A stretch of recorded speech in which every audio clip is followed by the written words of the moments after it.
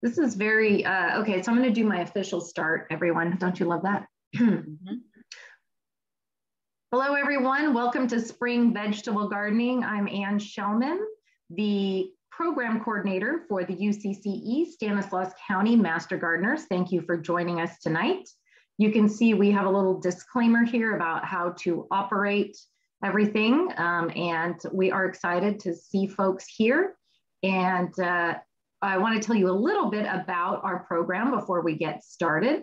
The purpose of the Master Gardener program is to extend research-based knowledge and information on home horticulture, pest management, and sustainable landscape practices. And you can see here, one of our Master Gardeners is talking to a client. She could be identifying a weed for her or talking about a pest. So we do have office hours, so you could be on here from anywhere in California and if that's the case, uh, you can contact your local Master Gardener office. And if you're not sure how to do that, you can always contact us um, for local solutions to problems.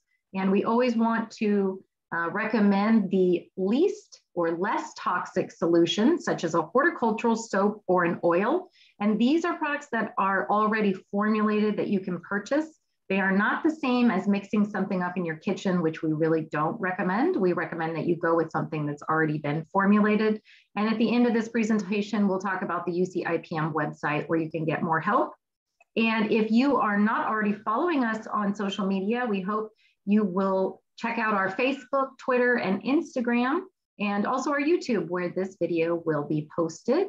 You can see we've got lots of different types of videos here and uh, something for everybody, I hope. And now we're gonna go ahead and get started with spring vegetable gardening. And I will let our hosts for the evening, our speakers, Ted and Ro, take it away. Go ahead, Ro. Well, you're gonna say who you are? Yes, my name is Ted Hawkins from uh, Stanislaus County 19, 2019 class along with Ro. Yes, and I'm Ro Yair. Um, I think I'll start with a little story. It's not on the script, so it's just lots of fun. Um, spring vegetable gardening, where when I grew up, was just so exciting because the land would be frozen, and so you didn't do any any winter gardening like you can in Stanislaus County. Um, and I remember the catalogs coming to the house and my mother and father reading them and marking them and what seeds they were going to. This was starting in January. This was a big opportunity. And then, of course, they couldn't actually start planning probably until April or May. But um, we're so fortunate. Of course, today in Stanislaus County, it was pretty cold. But normally, um, we can start our gardening in fact, many people have started their gardening inside already. So spring is a wonderful time and let's talk about what we're going to go over this evening today. Okay, gardening basics, planting methods, popular vegetables, harvest and storage, pests and solutions. Of course, your questions all along the way. Okay, gardening basics. All right, you need to have sun and water for vegetable gardening, six to eight hours for most of our plants. Um, we also know that in Stanislaus County, the summers are very, very hot and a lot of sun. So there's some vegetables that will not grow well once we hit the June, July time. Um, have water source nearby.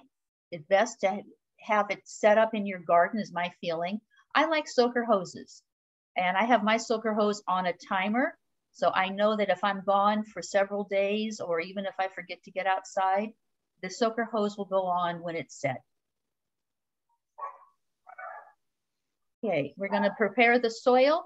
Gonna add some compost to your garden, mix it in. Um, if you're going to do container gardening, which is a wonderful way to also experience spring and summer gardening, make certain you use a good quality potting mix. Um, don't use soil from the garden. It maybe have pests in it, seeds in it, um, and it's very heavy. It's a little bit hard to move those containers around.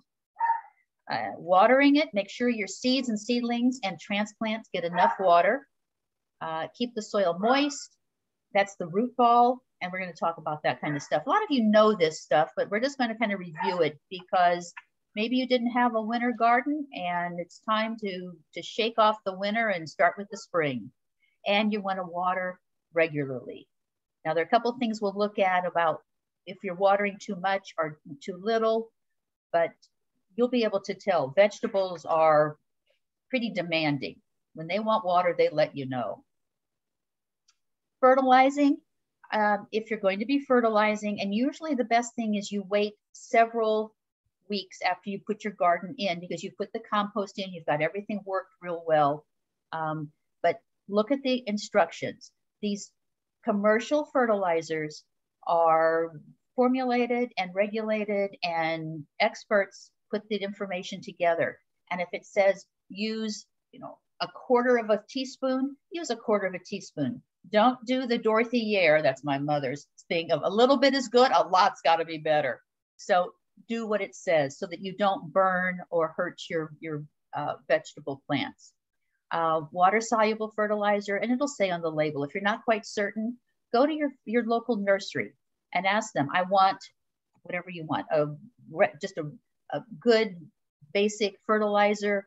Um, one of the things that, that you don't really need if you put your compost in is you don't have to put any amendments in the soil, in the, in the holes when you dig. So a good fertilizer a few few weeks down the uh, down the pike and your your your uh,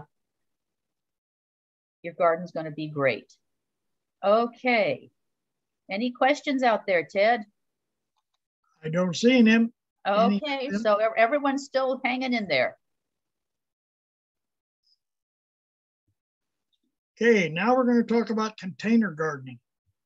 Uh, any type of container, plastic, metal, wood, they all work very well. As long as there's a hole in the bottom that you uh, need to drill if it's missing because the water needs to get out of the container. Larger containers are best if you're, you know, if you're planting large things like tomatoes and stuff like that, you need a large container because they will bind up the roots and then not grow very well. When reusing uh, containers, you want to clean them with 10% bleach water solution. So that means 10% of the solution is bleach and water is the other 90%. And that way it'll get rid of any of the uh, soil pests and stuff like that might be in the pot that was used before.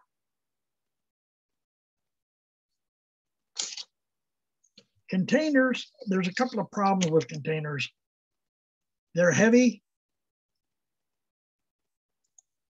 or they can be heavy. And if they are, you need to get a, uh, trolley or something underneath them whenever you get ready to plant so that you can move them around.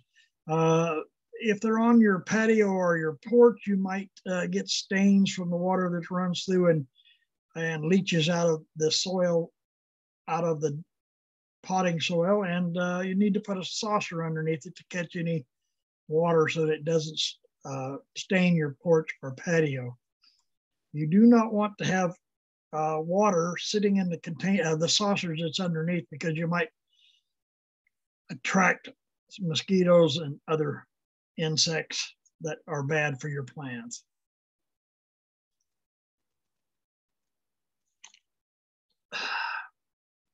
You can use containers like wheelbarrows and uh, kitty litter bins and all those kind of things, five gallon buckets, rubber, Rubbermaid uh, tubs and kiddie pools and all those kind of things.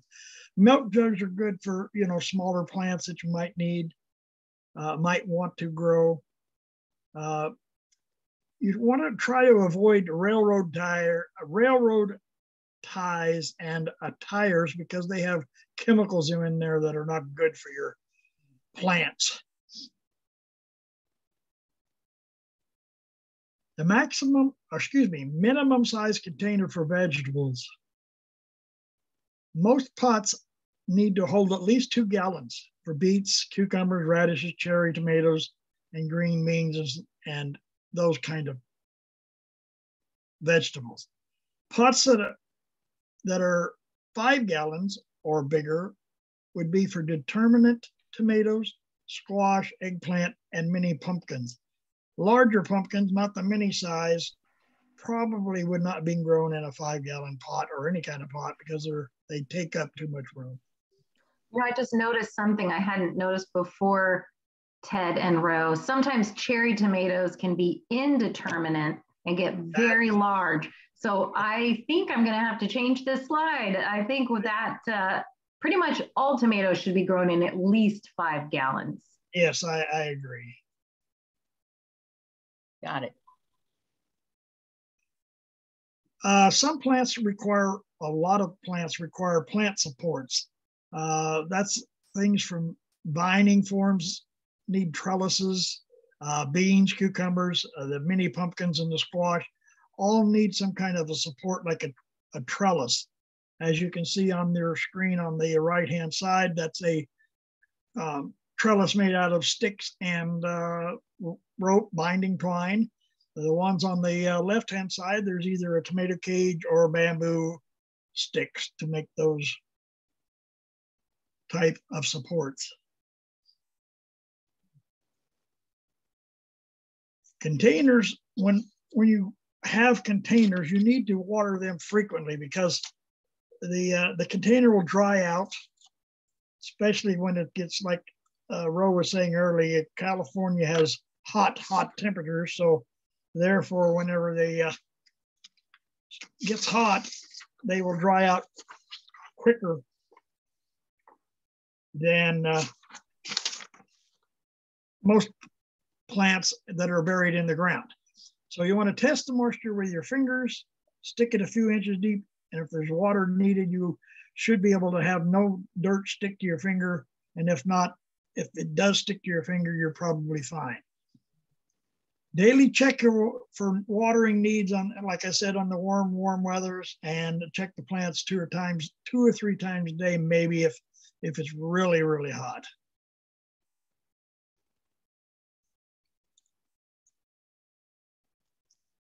Uh, some plant, plants, like I said, needs more space than should, they should not be planted in pots. They should be planted in the ground. Artichokes grow huge. They ever grow to three or four feet across pumpkins take up, you know, a lot of room because the uh, vines grow very large. Melons, uh, winter squash, those are the hard squash like uh, banana squash and and those kind of things that are those are the winter squashes.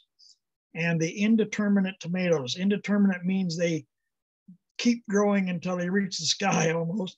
They uh, there's no stopping them from growing, so they need to have plenty of room. And corn needs to be grown in rows because the wind pollinates the corn and the corn, the tassels on one stalk gets the pollen from the one next to it. So you need to have them in rows. Okay, um, we have a, a, comment and a question. We'll start with the chat comment. Um, Okay, uh, Pam said, Pamela says, if soil from the garden is bad for containers, as it might contain pest and disease, why is it not so bad for ground beds? Well, you've got a larger area. Um, and hopefully you have, you're, you're, you're, mixing the soil around. When you've got it in a pot, it kind of, uh, it, it limits. I think the other thing too is just in case you have things in the soil already, then you're yeah making more problems in a in a pot. But one of the real problems is that the soil in the pot, uh, you're watering it and watering it, and eventually it can get really compacted, and it may be harder to garden in that pot. Okay, and Tammy says, "What does determinate mean?" Uh, Ted, you want to repeat that again? Did you just determinate means they grow to a certain specific height. And indeterminate means they grow continuously. They will put on fruit. Most determinate tomatoes will have a crop that is all pretty much all ripe at one time, whereas the, the indeterminate keeps growing and every time it puts out a new sucker or whatever, it'll put new flowers and it'll keep growing. So that's the difference between determinate and indeterminate. Okay. And we have a chat. Let's see. Um, What do you add? Okay, uh, what do you add to the ground soil if you want to plant there, there and versus a raised bed? What do you add to the ground soil if you want to plant there? I think that's just your compost. Right, and it looked like Yesenia had a question about where to get compost, which of course depends on where you live. Mm-hmm. If you're in our area, I heard from the recycling coordinator that at some point uh, MoGrow or Modesto compost would be free and it's going to be available bagged where you can just pick it up. But I don't know where and when that's going to happen. There's also the um, Jennings Road compost facility. Uh, but uh, Yesenia, if you don't live around here, you would get that at any garden or nursery center, or you can take our online composting class that we did uh, not that long ago with Heidi um, and there might have been one other host, and uh, make your own. And and speaking of Heidi, it looks like she was just also commenting on Ted as far as the determinate and indeterminate tomatoes. So um, the when what Ted when he was saying they kind of stop, it's like the Roma at, at a certain point they're just done, and you get them all at one time. And so what's kind of cool about that is that's the basis for ketchup and tomato paste because out in a um, field where farmers are growing lots and lots of tomatoes to make ketchup, it's all the tomatoes are ripe, ready at the same time. They go to the processing plant. We as home gardeners prefer a lot more the indeterminate tomatoes because you're going to get them and then they're going to keep coming and coming. And I've had tomatoes through October or November, depending on uh, when the frost hits. And sorry. Go ahead. I just said, hopefully that's answered all the questions, Ro. Did we miss anything? We've got one more. How do I prepare the soil for raised beds? Says, asked Deanna. That's a good question. It is. And I was just, uh, we just answered a question about that on the Master Gardener helpline. Let's see if I can remember the answer. It, the answer is a third of the um, soil would be your regular garden soil, another third would be potting soil, and another third would be compost. So we have a, and we'll send it to everybody. We have a great guide called the um, Vegetable Gardening Basics, where it mentions how to build up the soil in your raised beds. Oh, good. Okay, vegetable garden. We'll look. We'll looking that for that one. And okay, did we get one more question come flying in? Okay, uh, Christy says, is there some reasons I'm not getting fruit or vegetables to set? We're gonna talk about that. Hang in there, Christy, Great see if we question. answer it. And Deanna, thank you. I appreciate the, the thank you, Deanna. And let me see if there's one more chat. Don't want to miss anyone. Um, okay, Yesenia is from the area, so we're, we're answering her. Um, Okay, Yvonne, I'm not understanding her perlite. Okay. Um, and you, would you would you add perlite to a, a... Mm, it's it wasn't recommended in the um, publication that we have from the university. Uh, perlite is more of a starting medium for seeds and you know getting your stuff started. Ted, have you used it in other ways? Not in a garden situation. It, it absorbs moisture so that your pots that you're trying to start your seeds in has plenty of moisture, but I, I, I don't know that I would add it to a raised bed. I, I that that would not be necessary, I don't think. Okay. All right. I think think think we're just about you're welcome. I think we have one more question about grubs in raised beds. I think Sorry, I don't know if you're in our area, but we probably need to identify these grubs. Oh, there we go. Can I still um, without?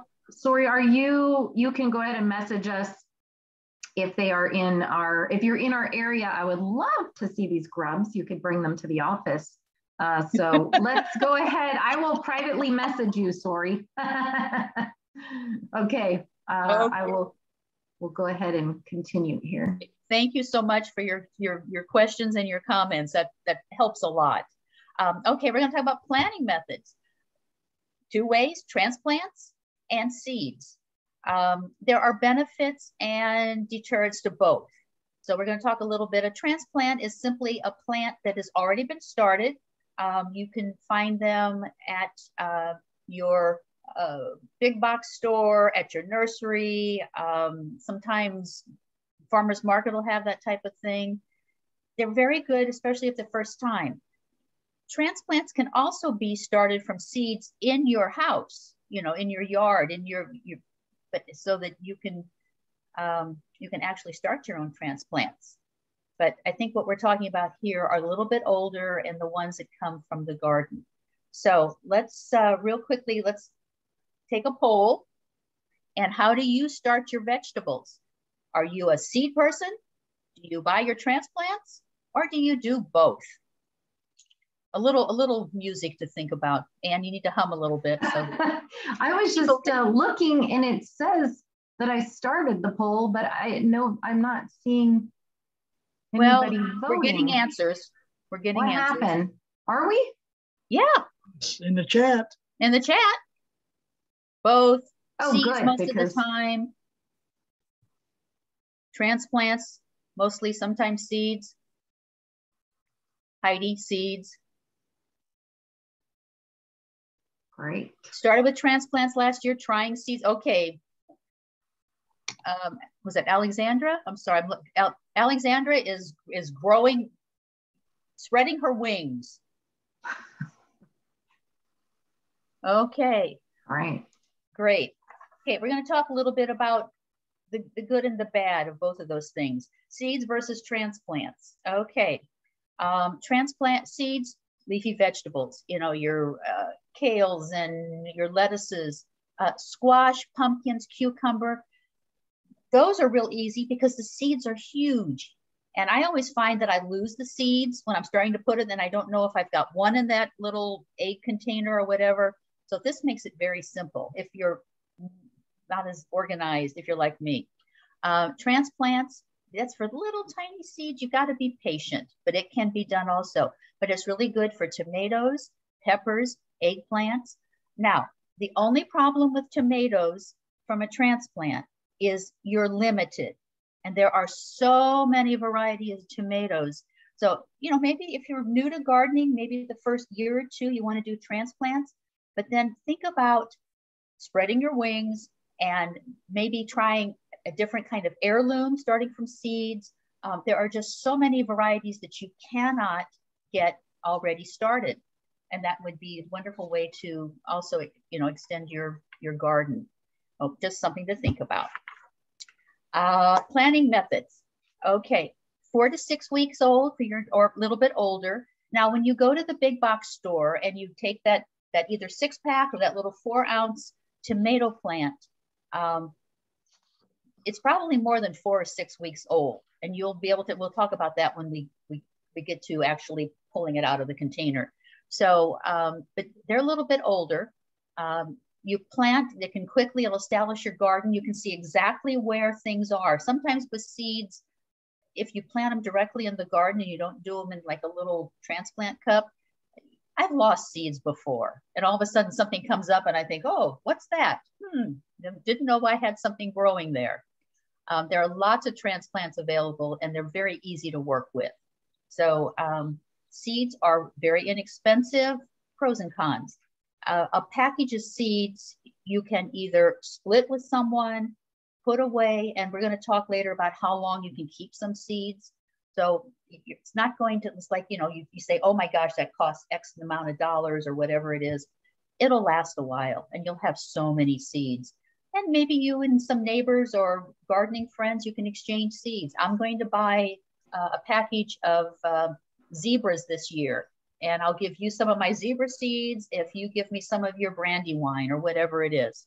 Okay. This kind of reminds me of Heidi's talk, Tips mm -hmm. for Terrific Tomatoes, where she planted an entire seed packet and afterwards realized this is way too many tomatoes, but then she couldn't bring herself to not grow them. So she grew so many tomatoes started her own canning company. Yes. Basically. Okay, planning transplants. Okay, this we talked about earlier. Very easy even though there are maybe six weeks, eight weeks old, they're still tender, especially between the stem and where the root ball is, the part that's in the container, ease it out. Um, sometimes if it's a soft plastic, if like a six pack, you can kind of squeeze the bottom, maybe use um, a, a, spoon or my favorite's an ice cream stick because then you can eat the ice cream first and then use the ice cream stick to pull it out. Um, if you look at the roots and see that it's either they're out of the bottom or they're circling around, kind of ease them apart. It's not going to hurt it if you're gentle with them. And then you make a hole in your garden where you want to plant it. Um, make the hole a little bigger than, or about the same size, about the same depth. And you're going to set the plant in there. You're to fill around there easily. Um, to be very careful you don't go over the top. So in other words, it's got to be the same level as the top of your little plant and you're going to water it well. And if you're growing something that needs support, put your support on then. And that way you don't have to fight with uh, losing. I only say that because I have done this, okay? You don't lose, you know, pieces of your, your plant or you don't worry about having to get them all together and work together. So put your, your uh, support in immediately. And like Ted said, you can make supports, you can buy supports. Um, some people just use a plain stick and they tie it on with uh, pieces of, of you know, soft string or rag or something like that. Okay, now what is a seed? A seed is a tiny embryo covered by a protective seed coat.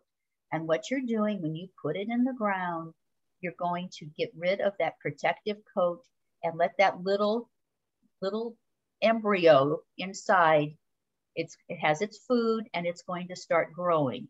And some have a thicker covering than others. If you look at, I'm sure maybe all of you have had like a sunflower seed or a, a pumpkin seed. You see how thick that is when you have to crack it open when you're eating them. Okay, that has to be softened up so that the little seed inside can start growing. But there's food in there, it's protected, and this is how the little plant starts germinating um, in the ground. Now, another thing, and I don't know if we, I don't, actually, I don't remember, putting things in the ground. Yes, our ground doesn't freeze in Stanislaus County, but if it's too cold, the plants aren't going to grow anyway. And I think 60 degrees, isn't that the temperature they usually recommend that the ground be in 60? Ted? Yes. Okay. So you figure it's going to take a while for the for our ground to hit 60 because at night it cools off and everything else. Um, I've known people who have, have been, you know, I've, I've got my plants in first. Well, that's fine, but their plants are going to sit there. So don't worry about I'm too late right now. You're not. You're going to be able to get them in and have a really good garden. Okay. Then you can see there's a, isn't that a great picture of a sprouted seed? the little root hairs are going to grow. And then of course, they'll go into the soil. They'll take water and nutrients from the soil. And then what is that one? Is that a radish? I don't really know. Is it a radish, Ann? Could be. Okay. Anybody's okay. guess. So anyway, you'll have a little radish someday. That's exciting. Keep it moist. It's fragile. Be careful. That's why if you if you possibly can, many of the seeds, especially the little one, start it in uh, an egg carton is a great place. And you can scoop that out. And then you can just put that in the ground when everything, when it gets a little bit stronger, a little bit bigger, and the ground gets a little bit warmer. And then the seed packet, again, these are designed and written by experts. Read it, it's very important. Um, it'll give you instructions on uh, how, how deep should I bury this? you know, an eighth of an inch is this package. That's, that's just like a sprinkling on top. If you put it too deep, the plant may not be able to force its way up to the sunlight. And that might be one reason why you didn't get any seeds that year. How far apart you should plant them? If it says 12 inches and you're doing, doing large seeds, that's pretty easy. But with small seeds like lettuce, that's kind of difficult. So that's when you come around and you have to start um, taking out some of the seeds. And some people just can't do that. They hate to do that, the thinning. Um, how far apart should you put the rows? Um, how long should it take to sprout? So that when you put that in, put a date when you put it in the ground and see, should I, my sprout should be there seven to 14 days. If I don't, nothing sprouted in seven to 14 days, maybe there's some, maybe I need to do a seed test. Maybe I need to get another package of seeds. So a lot of good information on the seed packet.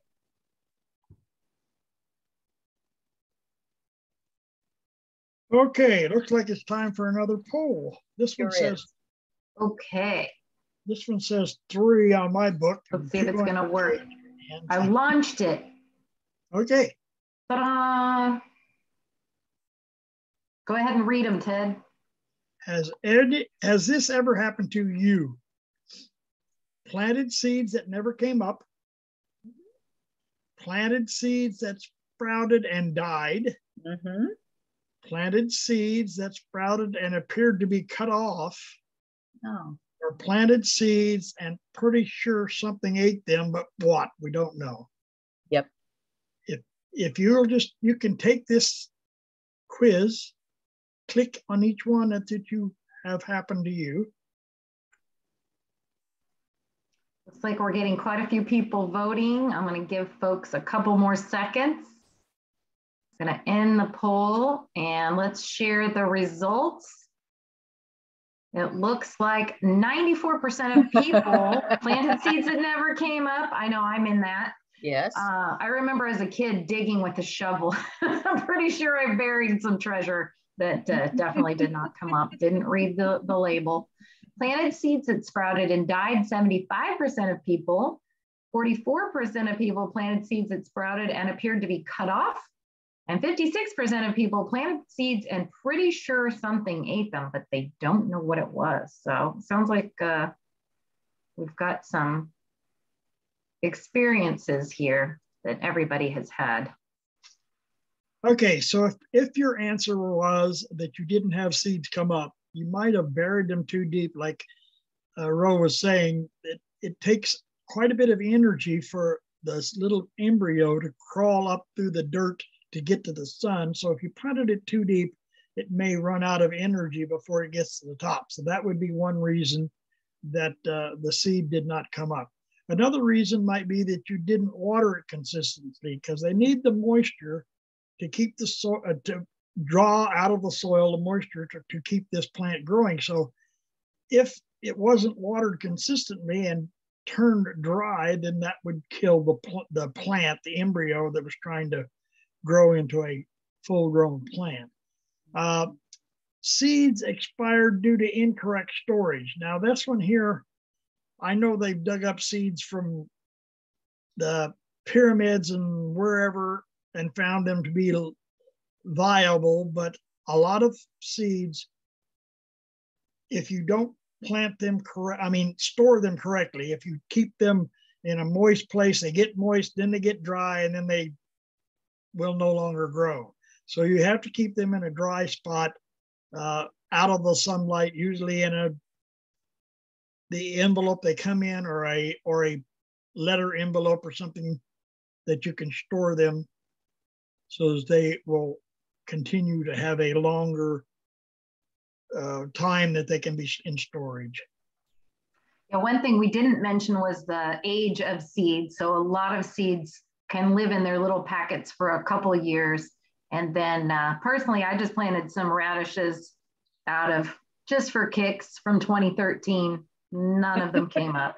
So I tried, but uh, the ones that were from 2019 all came up. So there you go. You never know. right. Okay, so if anybody answered the question that their seedlings died, there may be a disease. You may have had a disease called damping off disease that kills them. Uh, what if you can see in the picture on your right hand side, that one there is is dying off from a damping disease. Uh, it you prevent this by using clean potting mixture and containers because the disease in the old pot may continue to do its damage in the next time you use it. So whenever, like I said earlier, when you're use, reusing containers, clean them with a 10% bleach water solution, and that will help get rid of the damping disease. You might also have had uh, cutworms, snails, or slugs or earwigs, all those insects will eat the new plants. And the picture on your right hand side is a picture of a cutworm. So, you know, those things can cause the plants to be eaten or the cutworms will just cut them off and they fall over and you see a dead plant there. Here's some life expectancies, like Ann was saying, on certain kinds of seeds. Uh, things like chives, marjoram, onions, oregano, parsley, parsnips, and salsify all have about a one year life expectancy. So if you have them for longer than a year, if it says on your package 2021, you're probably okay. But if it says something longer than that, all you can do is try them. Like Ann said, if she planted 2013 and none of them came up, but if she'd have planted 2015, maybe half of them would come up. So, you know, you just try, see what you think. Annual flowers, cilantro, leeks, uh, okra, mizuna, wild, most wildflowers, uh, pepper, sage, and, and sweet corn all have at least a two-year life expectancy in pro if properly stored.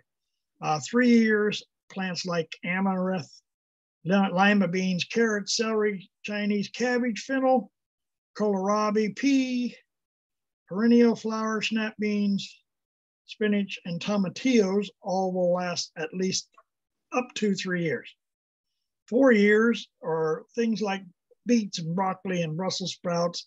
If you've seen those three seeds, you'll see that they're they look like a little crusty piece of wood, so to speak.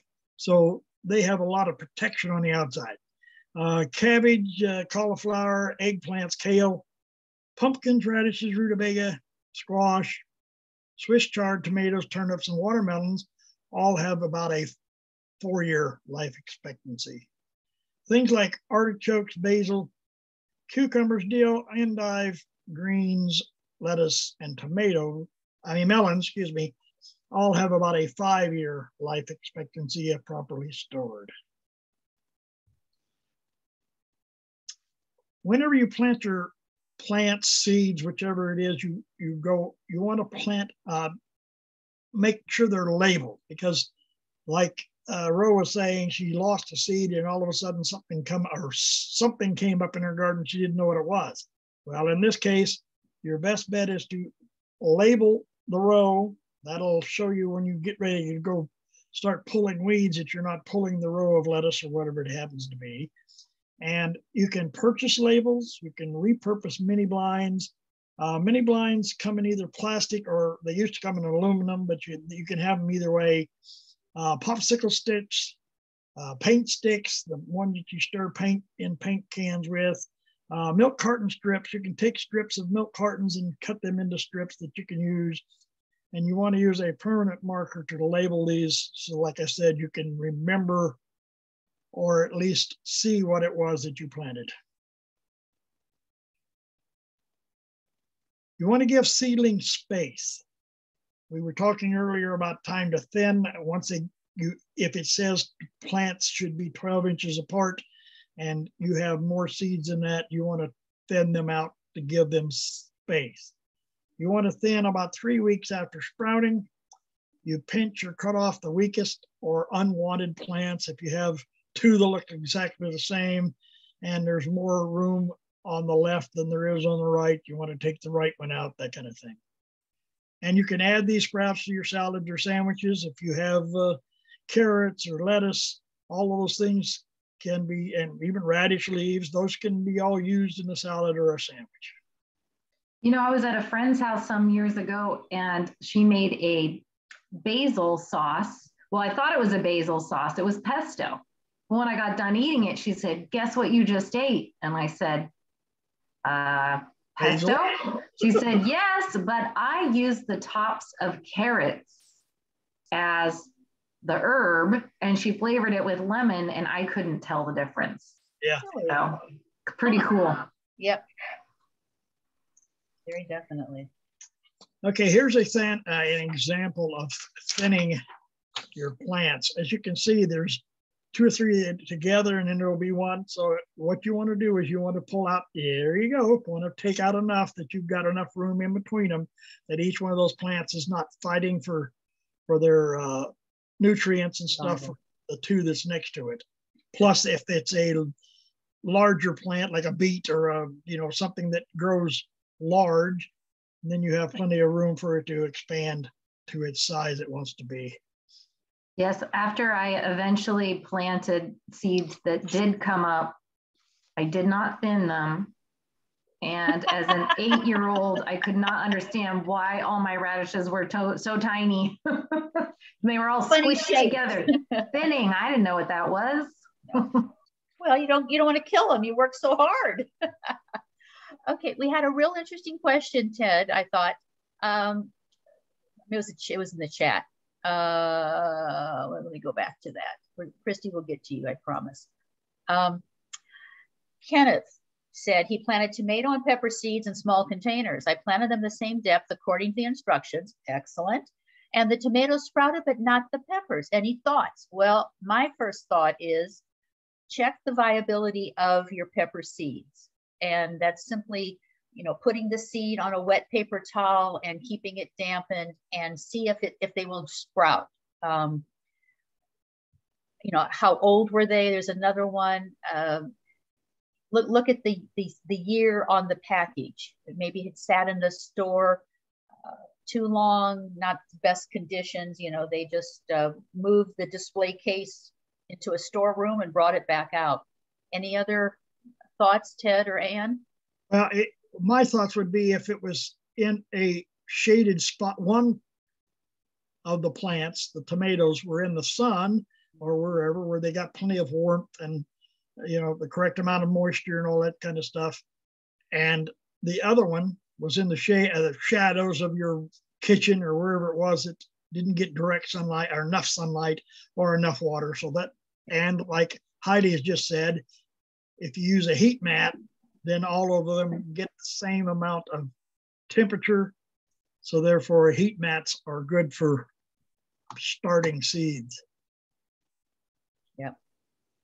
I think another question would be when he says he, when Kenneth says he did all of this, when was that? Was yes. did he do this inside? Yes. Um, lots of different factors so this is why it's good to call your local master gardeners and then you can go over all of your steps and try to figure out what might have gone wrong. But everything Ro and Ted said, very good. Oh, and um, Heidi had messaged earlier, I don't know if you guys saw this, but she planted, when she planted all those tomato plants, she planted 450. she kept all of them. So if you have not seen her Tips for Terrific Tomatoes video, you've got to watch it. Excellent. Yes, very good. Okay, so let's talk about some popular warm season vegetables. And this is the most exciting part because everybody who you talk to is going to grow. What's the number one summer crop? Even if you have nothing more than a spot on your balcony, tomatoes. And, but there's lots of them. Uh, melons if you have the space. And let me tell you, melons will run forever. Um, lettuce and chard, early season. Remember, it gets hot around here and they don't like our hot um, summers in the valley. Um, carrots and beets are good ones to start with. If you're working with young young people, um, children, uh, grandchildren, whatever, radishes are wonderful because they grow quickly and um, if they're thin, they're fun to pull out. And there's so lots of varieties of radishes. I don't know if anyone of you have seen the, um, I think they're called Easter radishes and they're in different colors. They're just charming. And, you know, that would be a fun thing for a, a young person who you'd like to interest in uh, gardening. Squash, they're the summer squash. You can get the bush style or you can get the ones that also need a lot of room to run. Uh, cucumbers, one of my personal favorites. We'll talk more about that. As you can see, there's just so many wonderful things, I think, but I'm almost a vegetarian. Um, the planting time met matters. Um, remember the cool and the warm, warm season. Uh, why do we grow so many tomatoes in this valley? Well, we have the right conditions for them. Why don't we grow um, artichokes like they do over in Monterey County? Because we don't have the growing season. We don't have the right temperatures. You can grow artichokes here, but we don't do it commercially. Now you can have them in your yard, sure, but they're not going to be a commercial thing. So radishes, not the heat. Um, lettuce, leaf lettuce, not the heat. Corn, not the cold. Corn likes that hot weather too. And again, remember, you've got to plant it in rows so they can pollinate each other. And everyone's going to get, oh, there we go. Going to go, hold on real quick. Oh, where are we going? Um, okay, so, and you're going to get a little chart that shows when the best time to plant. That'll be coming with everything else. Correct, Anne? Okay, all right. Now, what's your favorite vegetable? Type it into the chat room. And okay, or your top three that you can't live without that you are going to add to your garden or find someone who grows them so that you can eat off of their garden. So take a I few. thought I heard your dogs uh, say Uh, their favorite was zucchini. yeah, well- Well, no, she, she likes zucchini. What can I say? The, the Chiweenie likes zucchini, okay? Okay, we've got, got some people coming in. Okay, snap peas, cucumbers, and tomatoes. I'm with you. Cucumbers and beets. Oh, sounds wonderful. Eggplant, tomatoes, ah, peppers, cucumber, beets. Sounds good. There's zucchini, beans, squash, tomato. Isn't that just, it's, I'm not going to ask if anyone that is there anyone in the group that doesn't like these vegetables, but it's just cherry tomatoes. Oh yeah, love them, love them, love them.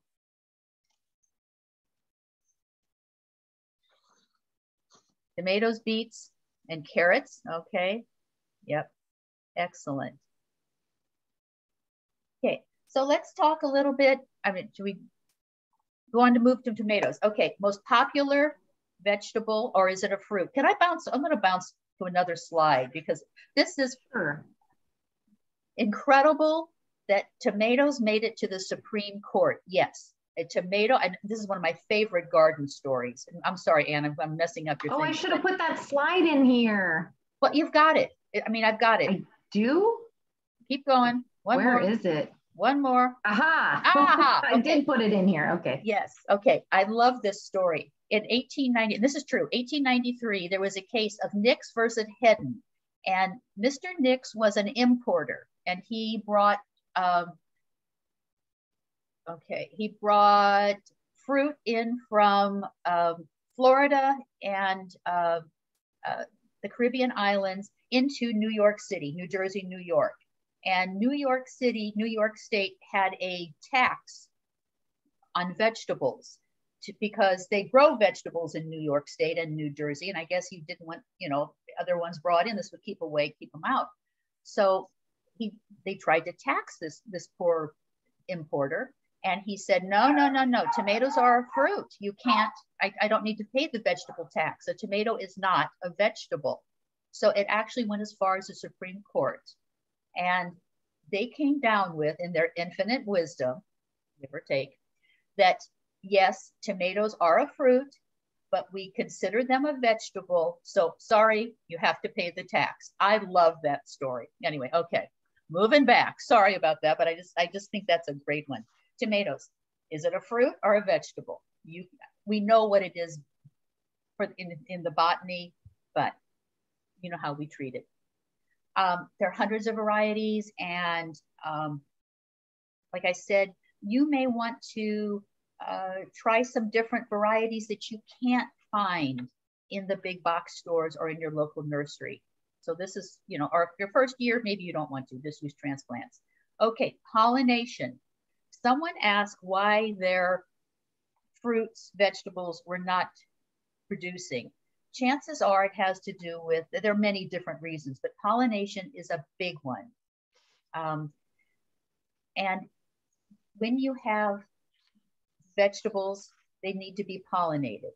Squash, cucumbers, tomatoes, and that's done through the air, through bees, sometimes within the, its own plant. Cucumbers will pollinate themselves.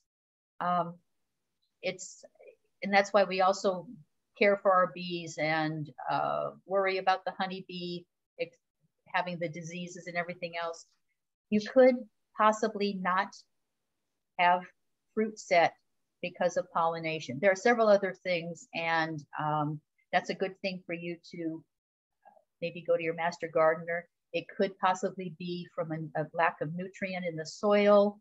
Um, it could be you don't have enough sunshine on the plant. You know, it needs so many hours. Um, consistent water.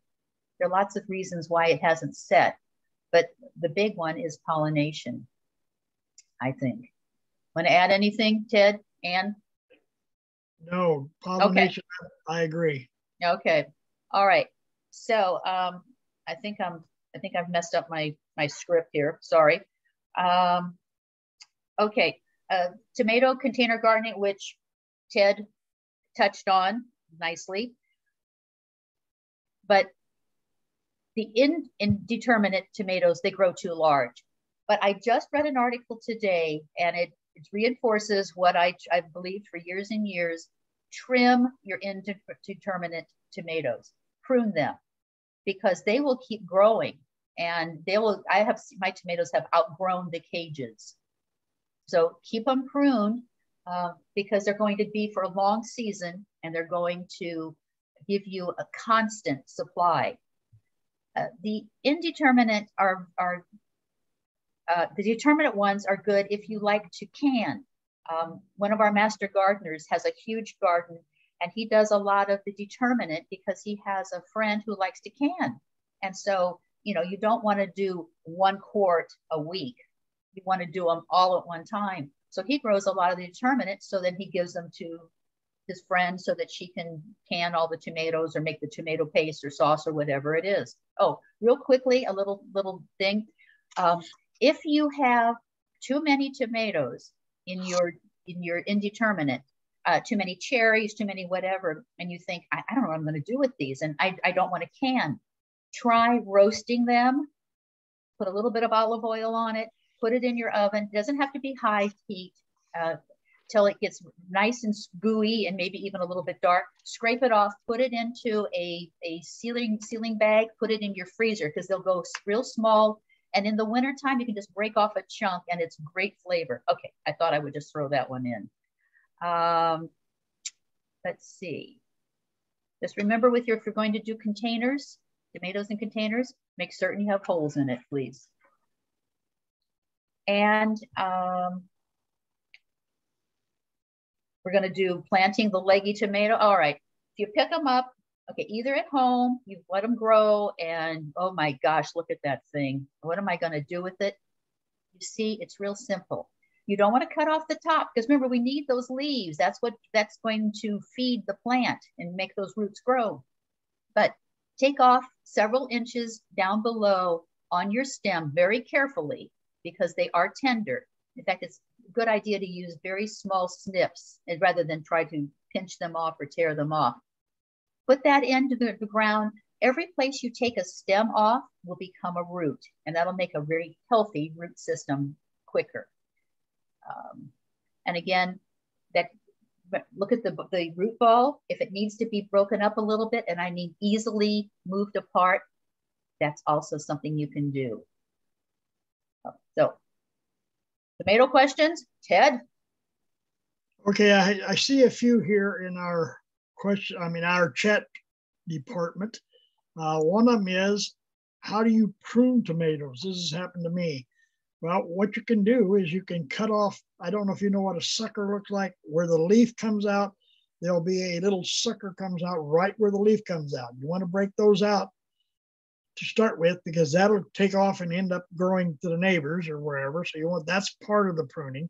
You can also take and cut part of the top off. If it gets real tall, you can cut a few inches of it off and it'll put out new plants on either side and then those will keep it shorter so that you don't have to, uh, uh, it, it won't grow so tall out of your uh, tomato basket or tomato cage. Uh, someone says, do you have to move indeterminate tomatoes indoors when it's cooler? Uh, you should not have to move them in only because you can grow tomatoes again next year. So I'm assuming whenever it starts to freeze, and the plants begin to die back, you're asking, should we, should you move them inside? I would not, you can, if, and in fact, if you wanted to, you could cut a big part of the tops off as long as the bottom is still green and then move them inside. But here again, all you have to do is just plant a new plant whenever it gets spring again. So I would not necessarily move them around. That's that seems like a lot of work, especially because the indeterminates are maybe, you know, six or eight feet tall. So that's going to be quite a bit to try to move around. Yeah, tomatoes are usually considered annuals. Yes. So- Yeah, I'm wondering if um, the person asking that question meant like they started them now, but maybe not. Oh, to have tomatoes in the winter. Okay. Yeah. So, like um, the time I had tomatoes that went until October, November, there was one year where it was just like the most amazing tomato year. I don't, there, there really wouldn't have been a way to bring them inside at that point. They're in the ground. Um, yeah, I just think, unfortunately, you almost Which need your own greenhouse. Yeah. Yeah. What you can do is you can pick up all pick all the green tomatoes off and pack them in newspapers or something and put them in a fairly cool place and they will ripen slowly so that you'll have tomatoes, you know, especially if the frost comes and burns and starts to burning the leaves off, you can pick all the green tomatoes off, either eat them as green tomatoes or let them slowly ripen. So Yeah, I was talking to uh, one of our former advisors about that, and they, in order for them to turn red, they somehow they still need to be ripe when you pick them, even though they're green. yes, they have Yeah, they have to have a little shiny skin on the outside. They can't be perfectly green, but once they turn start turning shiny, because whenever you get tomatoes in the grocery store, those are picked green. They are picked like a green softball, and then they put ethylene gas on them, and that makes them turn red by the time they get to the store. Because if you pick a ripe tomato and try to box it into a box, and put it on a train and get it to our truck and get it to the store, it's going to be tomato paste. So if what they have to do is they have to buy them, I mean, pick them green, and then they ripen up with ethylene yeah, gas. they've made sure they're ripe ahead of time. So mm-hmm. what you could do is, you know, once it gets cooler, you hope they're right. pick them all. If they don't turn red, make fried green tomatoes, I guess. Or my mother used to make pickle lily with it. Oh, there you go, pickle them. Pickle lily or pickled tomatoes. Yeah. Delicious. It looked like there was another question from Deanna, what to do to increase pollination odds? Uh, I think it, yeah, it wouldn't hurt to have uh, some pollinator plants around. Um, we're, and I think the question is, well, the issue is, were you not getting a lot of tomatoes and was it a pollination problem? Was it something else? There can be weather issues. There's a lot. Again, I think I'm just going to refer everybody to watch tips for terrific tomatoes. Probably better move on. We're at seven o'clock. I'm not sure how many slides we've got left. Yeah. Okay, now we're going to talk about corn. Corn is wind pollinated, meaning that bees do not carry the pollen from plant to plant. What happens is the wind blows the pollen and the pollen falls down on a the silks, as you can see in the picture on the screen. That's called silks. That's where the this the pollen lands on each one of those little hairs and goes down into the the uh, underneath the uh, green part you see there and pollinizes a kernel of corn. So that's the way corn is pollinated. So you want to plant the, the seed in rows because if you don't plant them in rows, then the wind cannot blow from, you know, the right hand side and put the pollen onto the left hand side or whichever way the wind blows. So you want to plant them in rows. Uh, the corn will be ready whenever the silks, as you can see there in the picture, these are not ready because they're still damp, they're still yellow. They will turn dark brown. And if you feel at the end, you should feel that the corn kernels are under there.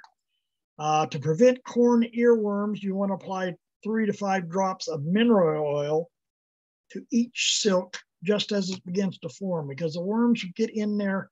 The uh, corn earworms gets in at the uh, tassels and goes in and eats as everybody I imagine has seen one if they've grown corn themselves. When you pull back the husk on the corn, there'll be a little spot where they the earworm, I mean ear corn, yes, corn earworm has eaten some of the kernels. Okay, now we're going to talk about squash. Summer squash and winter squash are two different kinds of squash. Summer squash, like you see on the left, are zucchini, uh, yellow crookneck, straight necked, all those kind of squashes are uh, yeah the summer squash. They have very thin skins. You eat them, they never get hard. They just you know grow bigger and bigger. And the winter squash is the ones that has very thick skins. The picture I think shows here is some uh, spaghetti squash that's has a real tough skin on the outside, and they will last almost through the whole winter that's why they call them winter squash. You want to leave them on the vine until they get hard. The vine starts dying away, and then you can harvest them and store them out of out of the weather. Uh, banana squash. Uh, in, in this case, like I said, I think those are spaghetti squash. That's what it looks like to me. Uh, those kind of things, butternut squash, those are all winter type squashes.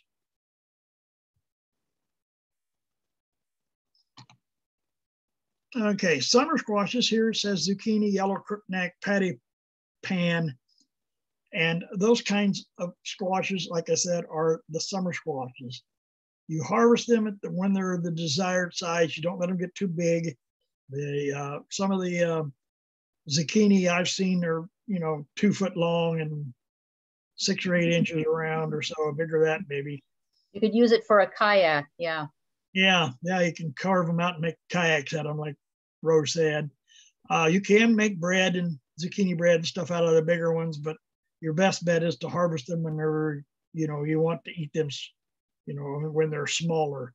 They need about 60 days from seed to harvest time. You can plant them in containers like this picture shows here. The container used needs to be about 24 inches wide and 18, 16 to 18 inches deep, and that'll have plenty of soil for the plant to grow. You can use use three plants for your best pollination. and bush types are very good for these. The, the zucchini you see there is a bush type zucchini. It doesn't grow real long. And the vining uh, type of squash, you might need a small trellis to keep them from growing all over your patio or, or wherever you have this pot.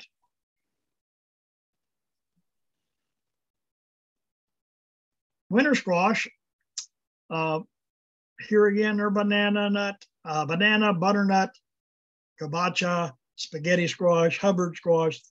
You can see the pictures there. There's many, many different varieties. And here again, all of these get hard on the outside like a squash, uh, pumpkin and you eat them by cutting them open, take the seeds out, and all that kind of stuff. You plant them in spring and then you harvest them in the fall, and they'll keep for the winter.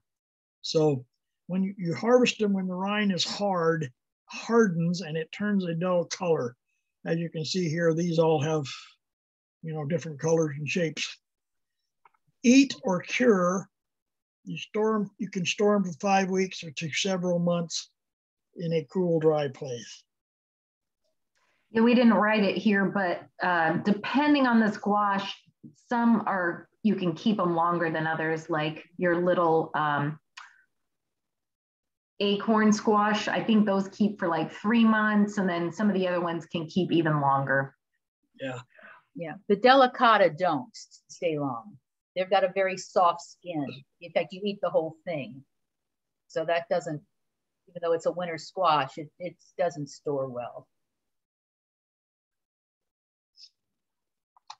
Okay, now we're going to talk about beans. There's a couple of different type beans. There's bush beans and pole beans. Bush beans will grow uh, in make a little round bush. That's why they're called bush beans. And you pick the beans off of them, and they never grow into a long uh, vine-like thing.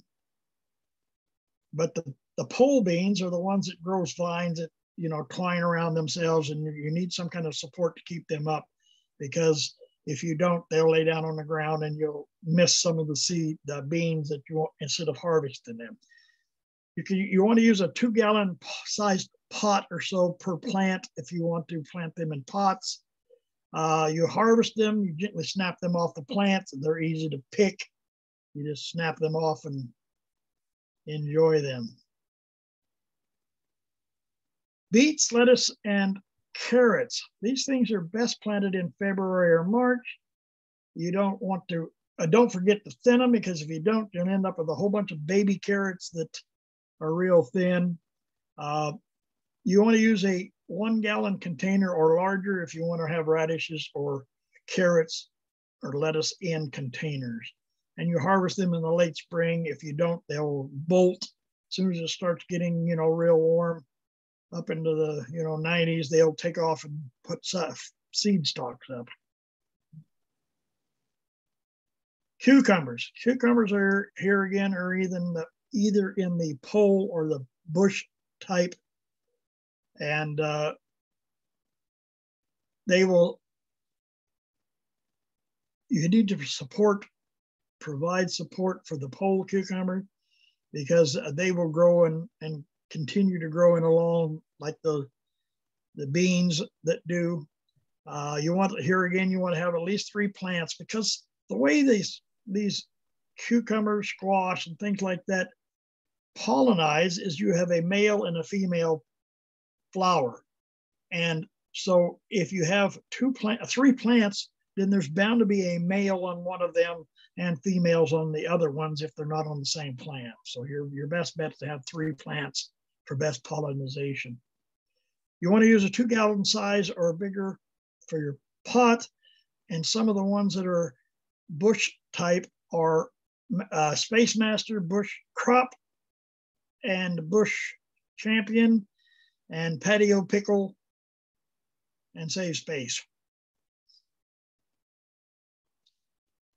Now we're going to talk about eggplant. Is there any eggplant lovers out there? Uh, I always have to put that since I like them so much. Yes. Yay, look, there's Ro. Type in the chat if you love eggplant because your grandma made you eat them forever until you decided you like them. Ah, yeah. okay. Uh, eggplant, you almost have to have a pair of pruners to cut them because the uh, some of them have a little spurs on the uh, the green part. You can see uh, in the picture on the uh, the top where the blue one, uh, excuse me, the white eggplant is. They have little spurs on there, and they can, you know, they're awfully tough. So you need a pair of hand pruners to get them off. You want to use them immediately, or you can store them on a countertop. Don't put them in the refrigerator necessarily, but they will last a, a day or so in the, on the countertop. And you need to plant them in a five gallon container like the tomatoes. They grow fairly large. I put mine in a cage. They get so big. I yes. use a support for them because that's just easier to contain them and not have them flopping over once you start getting some big fruit on them.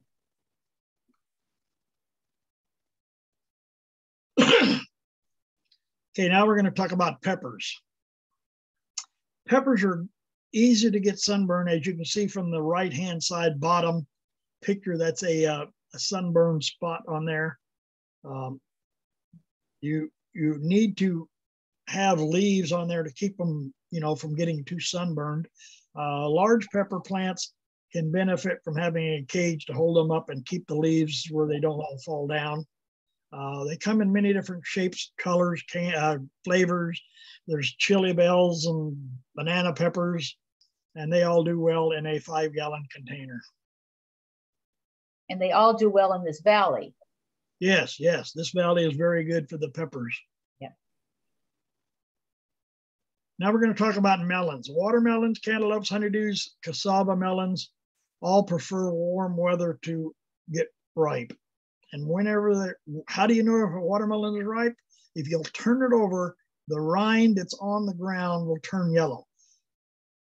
Uh, you can also, if you look at the end of it where the blossom was, sometimes you can see little pieces of uh, what looks like uh, bark or something. And what it is is the, the sugar that's coming out from the blossom end. So that's another way of telling a ripe watermelon. Cantaloupes, when the fruit slips off the vine and when you reach down to roll it over to see what the bottom looks like, it comes right off. It's probably ripe. Okay, questions. Well, I want to go back. Anne's already answered this for, um, but I think it's, I think it's funny because I'm not involved with it, but I grew up with my father versus the squirrels. Um, Donna's saying that, um, I'm sorry, it's not Donna.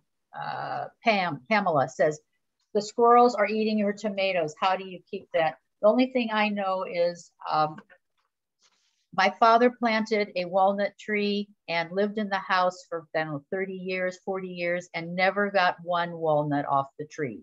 We had the healthiest squirrels in the county. So I love, I mean, I'm so I'm sorry. I don't mean to make fun of, of your squirrel problem, but I understand. I don't know if there's much you can do, be honest with you. You know, you can try caging them, but they, they, they've reached their little hands and they're smart little they are very smart. I have not recently read the pest notes about them from UCIPM, but I can send that to you, Pam, and then of course connect you with your local cooperative extension. I'm assuming if you're from around this area, you might be in Tuolumne or Calaveras or uh, squirrel country. Squirrel country, yeah. Or you're dealing with ground squirrels, which can also we do have quite a few of those around yeah, they're they're they're smart little guys. Okay. What are you going to plant in your garden this spring? Something different? Ha, did you see what Bonnie said? Squirrels planted their no, own. No, no, no, I missed that one. What did she say? We never got a nut. yeah, no, they planted the uh, tree hey, they planted the tree, Bonnie. It was their tree, their walnuts. Yeah. I understand totally. Okay. So what what are what are you going to be growing in your garden? Is it going to be something besides your three favorites? You're you going to try something different? I know uh, Yesenia said she's going to do beefsteaks this year, which is very exciting because those are wonderful tomatoes. And nothing else yet. So think about it, put it in the chat. And we've got a couple more questions. Uh, do five gallon, uh, five gallon containers need to be used or they can plants be planted in an open ground? I think we might have confused uh, Dorinda oh, because sorry. we were talking about how you can plant them in the ground. Uh, I'm sorry, but you can plant them in pots. However, the ground is a great spot. So yes. Especially for sure those things that need space. Take them out of the pot. But if you live where you have a small patio, a balcony, um, your yard is used for other things, then container gardening is great. Uh, Dorinda, do I need to plant more than one cantaloupe plant, like in sets of three? Are pepper plants as well? No. No, you do not. Cantaloupes will produce, melons will produce, pumpkins will produce, um, without having the three. It just, for some reason, it seems like the cucumbers. Some of the squash, yeah, yeah, it doesn't hurt. Um, did we talk about how the issue a lot of times with cucumbers and squash and that sort of thing is that there are male flowers and female flowers, and often the male flowers come out first and the bees are pollinating, but then there is no uh, female flower to take that pollen to. So you just have to wait and it's early right now. We are giving this class in February. However, we're doing that so that you can get ready for March. And in some instances, at least we're talking in Stanislaus County, you can plant your tomatoes as early as, you know, the second or third week in March or as late as April or even May um, and still keep getting tomatoes. So um, sometimes with with certain plants, you just have to wait until uh, the pollination happens. And you'll even see the female uh, part of the cucumber looks like, you know, oh, I'm going to get a fruit, but it actually wasn't pollinated and then it just shrivels up and dies. Yeah. So it's not your fault. It's just timing. Yeah. Okay. Alexandra has a, a problem with her raised garden bed. She has cats in the neighborhood or in her home that use it in the litter box, which is mm. which is a problem. Um, your your soil is is not good anymore. If yeah, I would say you've got to find a way to exclude them and keep them from um, getting in. I don't know if you could build something around it to prevent them. Or screen on top so that they can't oh that's yeah yeah which is tricky. Uh, yeah no that's a great idea ro because then they wouldn't be able to get in there before you start planting. Yeah. Um, although once you start planting you know then they're like oh look here's this new area. Except uh, if they keep it damp they won't they don't like that they won't yeah, that, that's not a bad idea. Yeah. So, All right. No. The main thing is doing something to prevent them from digging. Um, I've known, you know, this is anything you put in there that they can't, you know, makes it impossible for them to dig, then it would not be such a lovely spot. Yeah. Good luck with that one. Yeah, I'm sorry. Yeah. Yeah. Um, cucumbers, you have to keep picking the fruit if you want more fruit. If you leave them, says, sorry, you know, sorry, that's not a problem around here. I'm out there picking those cucumbers all the time. I love them. So yes, thank you. That's a good, good point. Yeah. That, oh, I'm sorry. I mean, I think what she means is maybe if you leave it, uh, they'll probably get bigger and bigger, and then you won't get as much fruit, maybe, or energy going to the other fruits. So yeah, it's good to pick them on time. Yeah. And when they're, they're tender, they just taste better. Mm-hmm. Yeah. I think Stephanie was saying kind of what you were saying, Ro, cover the beds with chicken wire because then, yeah. you know, they can't. they can't get in there and dig. Yeah. Yeah, interestingly enough, there's not a pest notes about cats. Somebody told me that uh, someone once asked UCIPM if they would do a pest notes on in-laws. and uh, they replied, well, let's see. A lot of the things that we already say about pests would work, you know, um, make sure you don't have any holes in your screen so they can't come in the door. Uh, you know, I guess there aren't any things about locking doors, but yes, um, exclusion is is the best practice at least for some of these. Okay, Alexandra, I would say definitely you need to get rid of that soil. Oh, you don't yes. know what microbes are in there or how clean or dirty it you can guess. is. Yeah, but uh, yeah, that's that's a good point, Ro. Um, Plus the fact that if it's already been used other cats will try to use it because yeah. Yeah. I would i would try to get rid of some of that and do the third mix with your potting soil and your compost and they probably didn't dig super deep but yeah just remove it to the best of your ability. Yeah. I'm sorry. Yeah. okay. A lot All of good right. ideas uh, but people are going to plant uh, someone, I think Sori said she's going to do sh chard. Remember, that takes cooler weather. So, you know, you want to make certain that you get that in the ground soon. Know, March, April, so that you can harvest it before. Yeah, we hot. we have uh, in our little master gardener garden, we have chard that we planted in fall, but um, you can plant it now too. Yeah. yeah. Okay and everyone's going to get a copy of storage tips um, in your email. You can see the best way to store your fruits and vegetables in case you have questions. I think the number one is tomatoes don't like the refrigeration. So you pick the tomato and you eat it quickly, or you leave it out on the counter, windowsill for a day or two, stem down. And, but they're, they're sensitive once they get picked so just plan on if you're going to grow tomatoes, you're going to eat a lot of tomatoes or give them for gifts.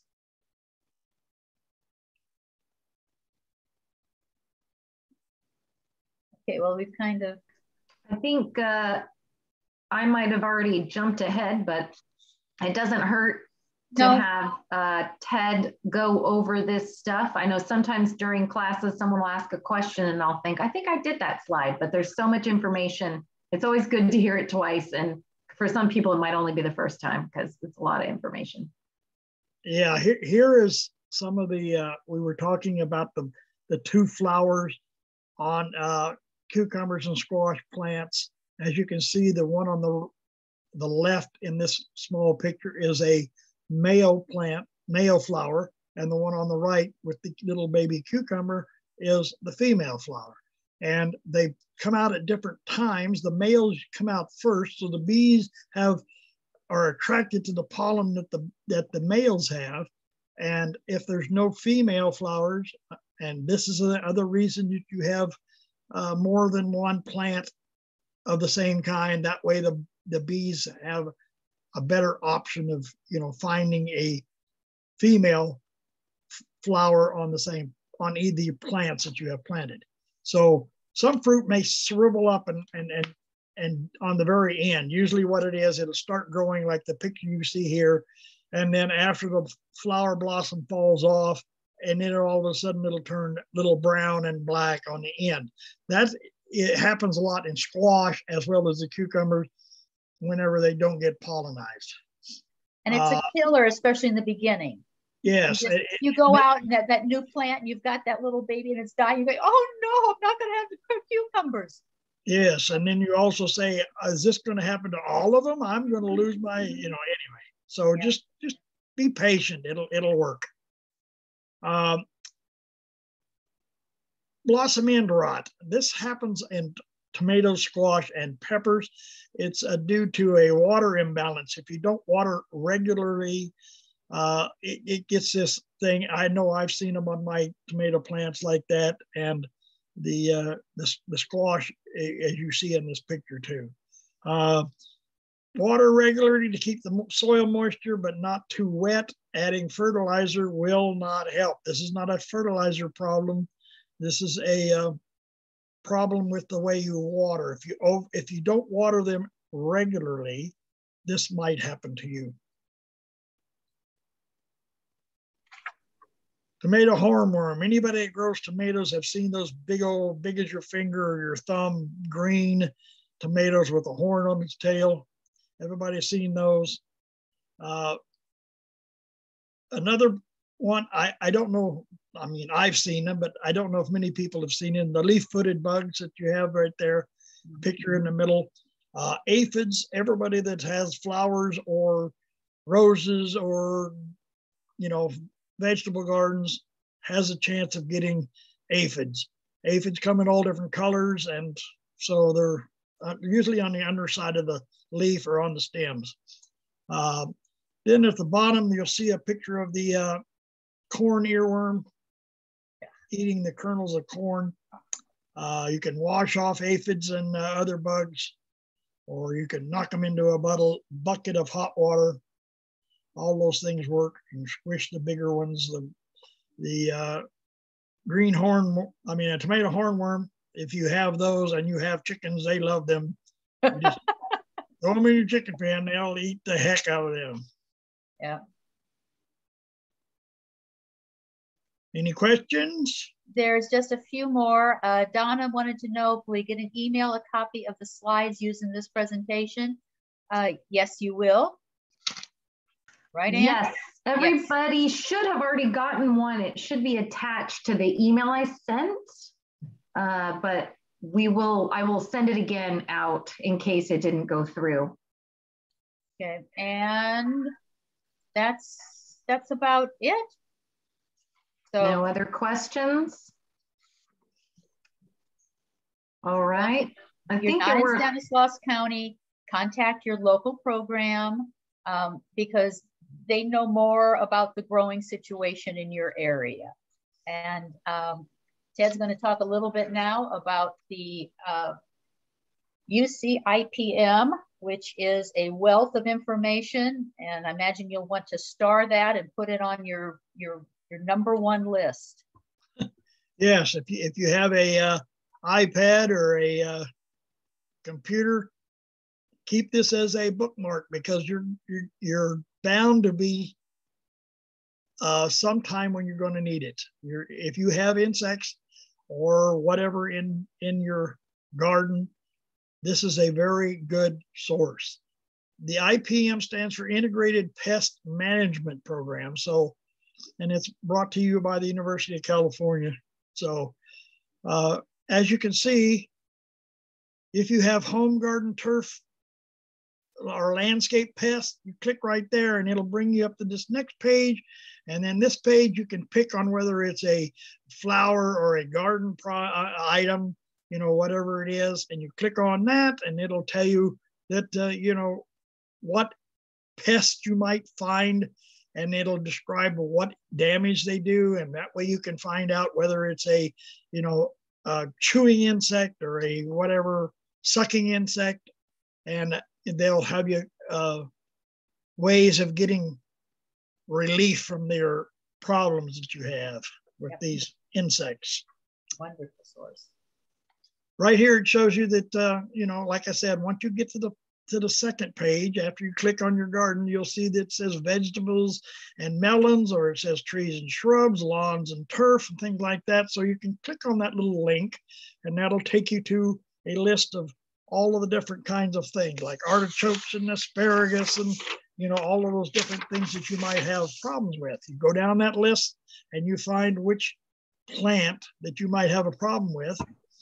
Uh, in this case we went to vegetables and melons so you let you know we just click on one of these and and it'll take you to what kind of pests there might find on your tomatoes or on your pumpkins or whatever and it'll give you some helpful hints on how to control them. Yep.